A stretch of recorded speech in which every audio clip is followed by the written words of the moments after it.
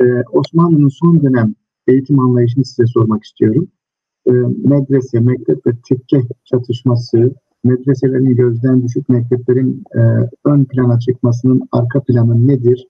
Siz e, bu mektuptan da yola çıkarak neler tespit ettiniz, bizimle neler paylaşmak istersiniz? E, sizi dinlemek istiyoruz. Evet, hem size hem e, diğer hocalarımıza, izleyicilerimize hayırlı akşamlar diliyorum. E, süremiz de bayağı ilerledi. Ben de e, özet şekilde takdim etmeye çalışayım. Evet, e, bilindiği gibi medreselerin kökeni ta e, 10. 10. asra kadar gider. Ve e, özellikle Abbasiler, e, ondan sonra Selçuklular, Osmanlıların ilk dönemi medreselerin en parlak dönemleri olarak kabul edilir ki bu medreselerden dünya çapında e, bilim insanları yetişmiş ve isimleri yaptıkları günümüze kadar ulaşmıştır. 16. asra gelindikten sonra sadece medreselerde değil birçok kurumda gerilemeye paralel olarak medreselerde de bu gerileyişin olduğu genel kabul gören bir düşünce. Ancak bu düşünce ileri sürülürken sanki sadece medreselere hasmış gibi bir çöküşten söz edilir ki bu sadece medreselere has olan bir şey değil. Mesela medreselerle ilgili e, dile getirilen eleştirilerden bir tanesi işte iltimasın, rüşvetin, adam kayırmanın ve eğil olmayan insanların bu kuruma e, sokulması e, şeklinde bir eleştirili eleştiri getirilir. Oysa ki evet yani bunu tamamen reddetmek mümkün değil. Bu eleştirilerin haklı pay vardır. Başka bir örnek vereyim. Diğer kurumdan mesela Yeniçeri Ocağı Kanuni zamanına gelinceye kadar sadece sayısı 12 bindir. Ama Kanuni'den sonra e, yıllar geçtikçe bunu bu sayının 70-80 bini e, bulduğu e, görülmekte. Ve dolayısıyla Yeniçeriler daha önce işte Osmanlı Devleti'ni zaferden zafere koştururken tam tersine bu sefer Osmanlı Devleti'nin çöküşüne yol açan bir kurum haline geldiğini görüyoruz. Aslında medreselerde de tabii e, her zaman hani e, ekonomide e, söylenen bir söz var arz talep meselesi.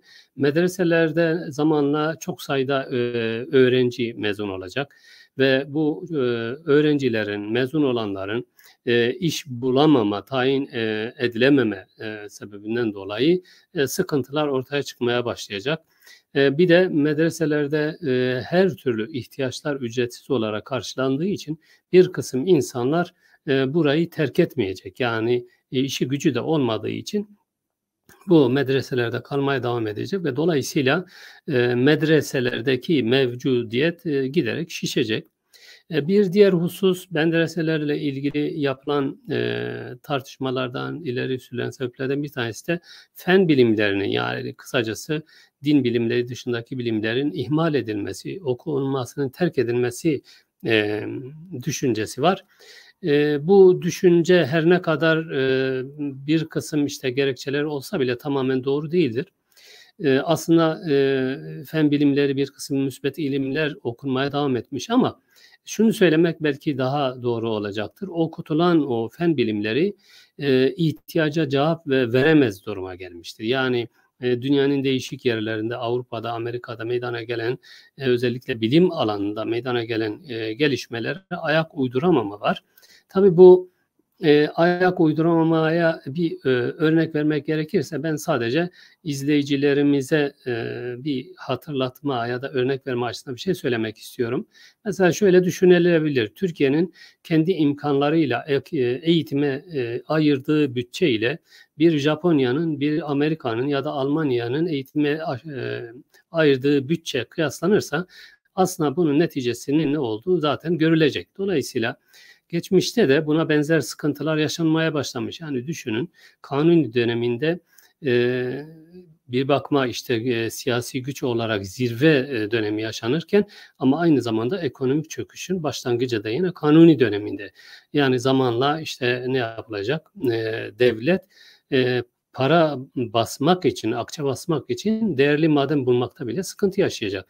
Dolayısıyla bu e, sıkıntılar e, birçok kurumu da etkileyecek. E tabii e, birçok iş bekleyen insanlar varken birilerinin elbette devreye girip kendi adamlarını bir yerlere getirmeye çalışması, adam kayırma, rüşvet zaten insanlıkla beraber neredeyse devam ede gelen en önemli sıkıntılar ki günümüze kadar bu sıkıntıları ne yapıyoruz? Bizzat yaşıyoruz. Tabii medreselere belki en son ve vurucu darbe belki de e, o gelişen olay ikinci Mahmut'la birlikte vakıfların mallarına el konulması yani medreselerin e, tabi medreselerde tamamen e, sırtının vakıflara dayanıyor. Geçim kaynakları hep vakıflar. Vakıfların devletleştirilmesi ve devletin vakıflara el koyması tabii ki medreselerin eğitim sistemine çok ciddi bir darbe e, indirmiş oluyor. 19. asıra gelindikten sonra artık dışarıya öğrencilerin gönderilmesiyle birlikte ikili kurumların ortaya çıktığını görüyoruz. Medreselerle birlikte mektepler çıkmaya başlıyor. E, tabii mekteplerde özellikle hem dışarıda eğitim gören bu insanlar, e, içeride eğitim görenler de e, yani fen bilimleri e, ağırlıkta olurken bu sefer din bilimleri ta, tamamen e, ihmal edilmeye başlanıyor ve mektepler de bu sefer kendi inancına, kültürüne yabancı insanlar yetişmeye başlıyor ve zamanla mekteple medrese çatışması denilen e, olaylar gelişmeye başlıyor. 19. E, asırda medreselerle ilgili özellikle tanzimatla birlikte medreseler çok e, eleştiri konusu oluyor ama Tabii bu eleştirilerin önemli bir kısmı ki Cumhuriyet'le devam edecek tam medreselerin kaldırılışına kadar e, giderek dozu artacak. Bu medreseleri iyileştirme, asıl sebepleri ortaya çıkarma, onu işte zamana uygun hale getirmeden çok onu ortadan kaldırma veyahut da medreseleri yok sayma, geçmişte vermiş olduğu hizmeti görememe ya da e, reddetme gibi e, düşüncelere dayanıyor ki e, hatta şunu da söylemek mümkün e, ki yani İslamcılığın e, ön planda tutulduğu Sultan Abdülhamit döneminde bile medreselerin ihmal edildiğini, medreselerle ilgili ciddi bir e, çalışmanın yapılmadığını e, görüyoruz. Tabii bu da zamanla medreselerin e, gözden düşmesine sebep olacak. Bir diğer husus da artık devlet önemli mevkilere, makamlara medrese kökenli değil de mektep kökenlileri getirmeye başlayınca tabii ki özellikle elit sınıf diyebileceğimiz e, insanlar kendi çocuklarını e, medreselere gönderme yerine mekteplere yönlendirecekler ve dolayısıyla mektepler giderek yıldızları parlarken medreseler ise e, kendi hallerine bırakılacak, terk edilecek ve giderek çöküşe doğru gidecek. İşte bu durumu gören teşhis eden ki e, bizde genellikle medrese e, mektep çatışması denir. Buna üçüncüsü tekkeleri de e, dahil edip e, ifade eden Bediüzzaman Said Nursi medreselerin nasıl ihya edilmesiyle ilgili kafa yorar.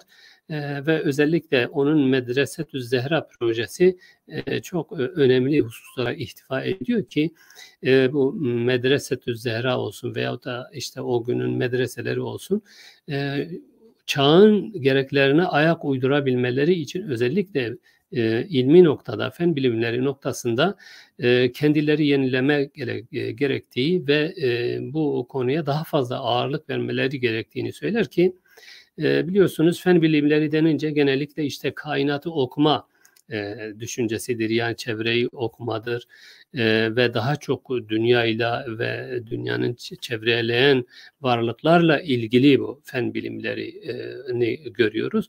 Dolayısıyla Bediüzzaman Said Nursi aslında fen bilimlerinin önemine vurgu yaparken e, kainat kitabından söz eder. Yani işte e, bize Allah'ımızı tanıtan üç alim olduğunu, e, söylerken işte birisi Hazreti Peygamber, işte birisi Kur'an-ı Kerim, birisi işte e, Kitab-ı Kebiri Kainat dediği yani büyük kainat, e, büyük kitap dediği kainattan söz eder. E, kainatta fen bilimleriyle e, okunur.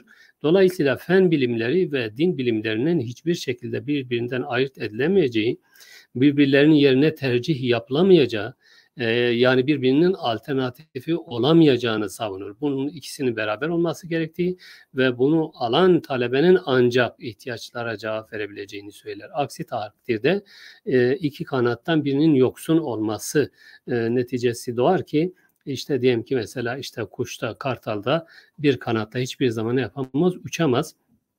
Onun için e, medreselerin ihya edilmesi gerekir. Medreselerin ihyası da özellikle fen bilimleriyle din bilimlerinin beraber okutulması e, ve e, bu şekilde de e, bilim alemine e, katkıda bulunmasını e, söyler. Medreselerle ilgili e, eleştirilerden bir tanesi de e, mesela işte bu e, özellikle Cumhuriyet'le birlikte bu konuya çok fazla ağırlık verilir. Yani tembelhaneler şeklinde e, ithamlarda bulunurlar medrese ehli ve bunu geçim kaynağı e, haline getirdiklerini yani amacın e, ilim öğrenmek, eğitim görmek değil de e, orada geçimini sağlamak şeklinde eleştirilere karşılık e, işte özellikle e, medrese ehlinin, e, din adamlarının bu konudaki düşünceyi yapmak için e, ciddi bir fedakarlık yapmaları gerektiği, bunun için mücadele etmesi gerektiğini söyler ve böylece e, medreselere farklı bir e, bakış e, açısı getirir. Yani e, evet medreselerde bir gerileme vardır. Bu gerileme, bu çöküş medreselerin ortadan kaldırılmasını gerektirmez. Medreseleri günün şartlarına uygun hale getirme gerekir ki e, özellikle Doğu ve Güneydoğu'daki eğitim seviyesinin düşüklüğü ki biz e, hem Bediüzzaman Said Nursi'nin eserlerinde hem e, tarihi kaynaklarda, arşiv vesikalarında hemen hemen birçok idarecinin yani validen işte mutasarrıflardan kaymakamlardan tutun da e, birçok mülki idarecinin e, işte e, başkente İstanbul'a yazdıkları yazılarda Doğu ve Güneydoğu'daki eğitim seviyesinin düşüklüğünden e, söz ederler. Halkın işte dürüstlüğünden, devlete bağlılığından ama eğitim seviyesinin düşüklüğünden dolayı bölgede bir kısım insanların bunu suistimal ettiği ve bu suistimalin önüne geçmek için de bu insanların eğitim seviyesinin yükseltilmesi gerektiğine vurgu yaparlar ki Bediüzzaman Said Nursi'de e, e, özellikle e, başta işte Diyarbakır, Van, Bitlis olmak üzere tabi bunlar başlangıç ve ondan sonra devamlı gelmesi de gerekir. Buralarda medreselerin ama nasıl medreselerin e, günün şartlarına uygun fen ve din bilimlerini beraber okutacak ki bunların işte sadece erkek değil işte kız öğrencilerinin ya da öğretmenlerin erkek bayan öğretmenlerin yetiştirileceği birimlerinin şubelerinin de olması gerektiğini e, söyler ve bununla ilgili ayrıntılı bilgiler de verir.